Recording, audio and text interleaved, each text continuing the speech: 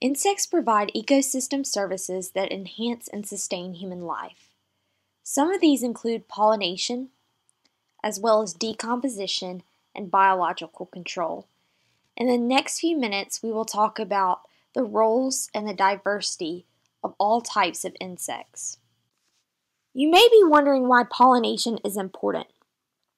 In fact, 80% of all flowering plant species are pollinated by animals, vertebrates, and mammals. But the main pollinators are insects.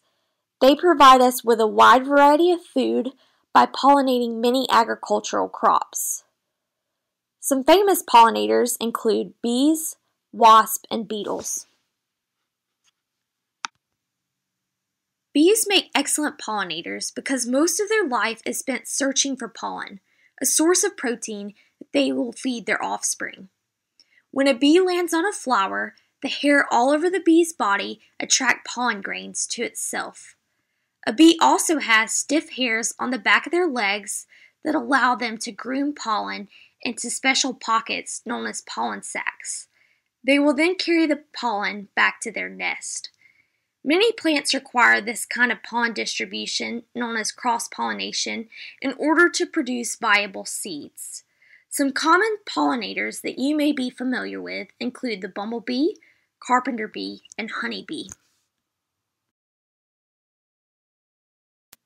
Honeybees are often kept in man-made hives by beekeepers and used to pollinate crops and other ornamental landscape plants.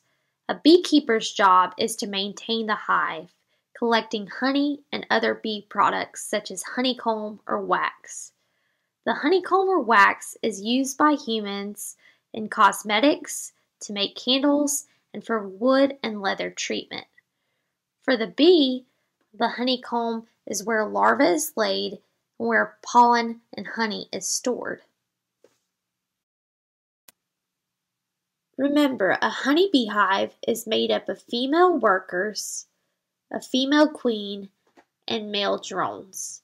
We will watch a few clips of honeybees at work.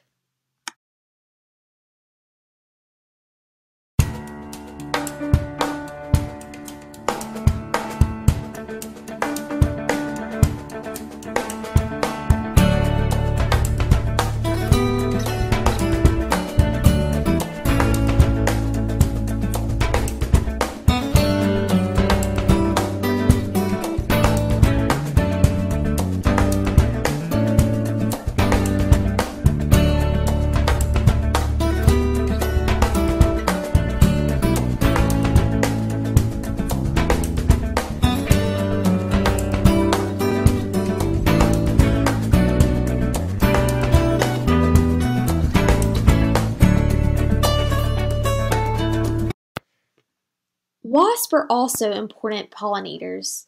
They are mainly predaceous, feeding on other small insects, but they can be seen gathered around flowers for two reasons. They drink flower nectar for quick energy while they hunt, and they use the flowers as a hunting ground for small insects that may be attracted there. There are several different types of wasps that you may be familiar with. This includes paper wasp, potter wasp, and thread-waisted wasp. Beetles are responsible for pollinating 88% of flowering plant species globally. They move from flower to flower, feeding on pollen, nectar, and other plant parts. Some common pollinating beetles include the tumbling flower beetle, blister beetle, and scarab beetle. Other pollinating insects include butterflies and moths, and flies such as the syrphid fly, long-legged fly, and house and flesh flies.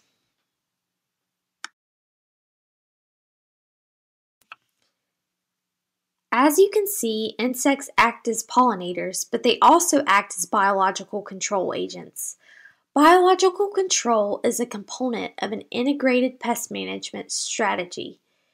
It is the reduction of pest populations by natural enemies or those insects that already occur in nature and typically involves an active human role.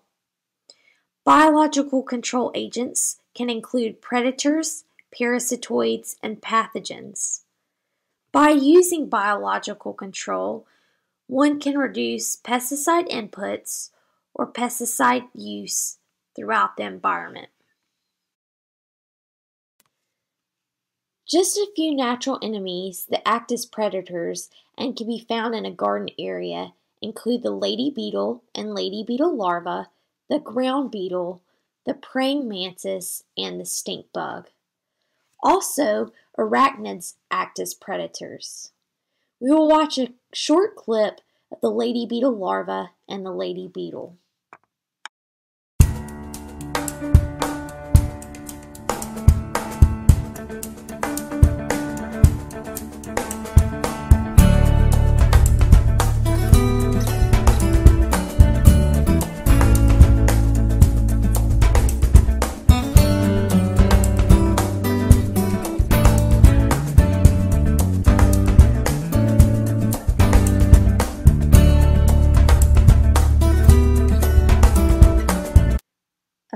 Parasitoid is an organism that lives in or on a single host individual, ultimately killing that individual.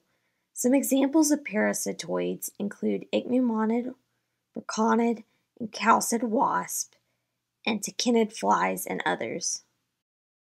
Insects are susceptible to disease causing organisms known as pathogens, and these pathogens can act as biological control agents.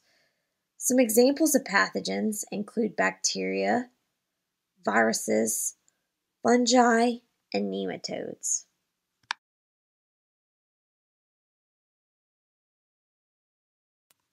Decomposition is a natural process and the breaking down of dead, decaying plant, animal, and insect matter.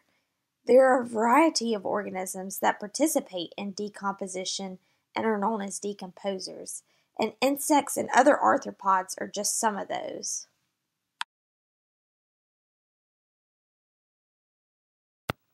There are three different types of consumers that make up the food web. The first is primary or first level consumers that feed directly on the dead, decaying organic matter. This includes earthworms, slugs, blow and flesh flies, beetles, millipedes, and pill bugs.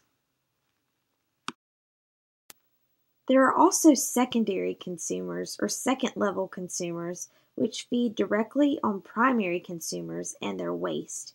An example of this would be springtails. The third level consumers or tertiary consumers feed on secondary and sometimes tertiary consumers. An example of this would be a centipede.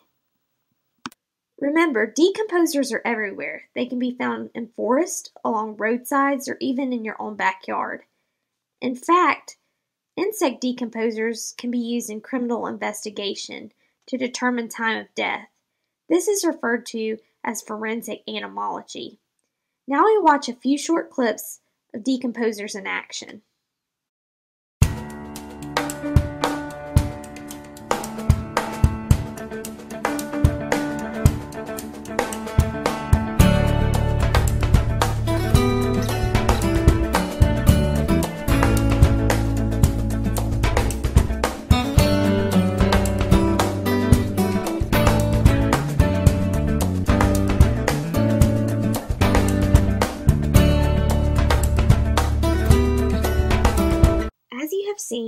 Insects provide a variety of different functions to the ecosystem.